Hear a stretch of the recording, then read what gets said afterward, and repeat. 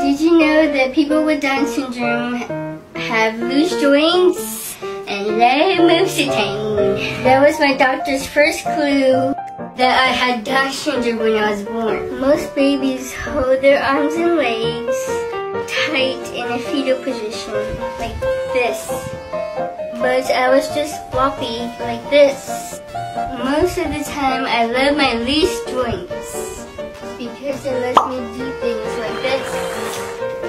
But having loose joints in your spine is not so great. When I was about five, they x-rayed my neck. And they said I didn't have atlantoaxial instability. That's a gap between C1 and C2 vertebrae that a lot of people with Down syndrome have. Because I didn't have it, I was allowed to do gymnastics, dive, and do the butterfly stroke. The butterfly was my best stroke and my favorite. A few years ago, I changed doctors, and he said I needed to x-ray again. My mom and my previous doctors all thought I didn't have it as a kid, then I just don't have it ever they were wrong. Turns out I got it later. I was sad because I couldn't do gymnastics, dive into a pool, or swim the butterfly anymore. A few months ago, I started having symptoms.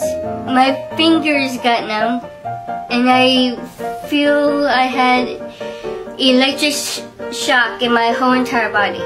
When I sneeze, or tense up when I open a heavy door, or when I got knocked over by a wave in the ocean and had to be carried out of the water. The gap between my C1 and C2 vertebrae got bigger and pushed my spinal cord.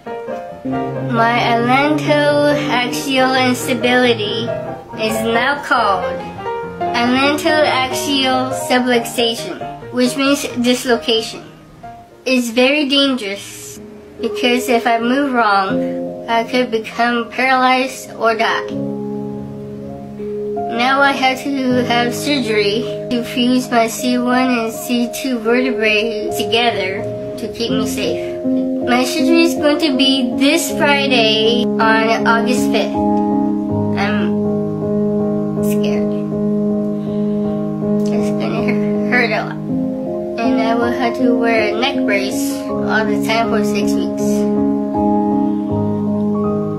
Wish me luck. I've I've I filmed a bunch of videos so we can stay in touch during my recovery.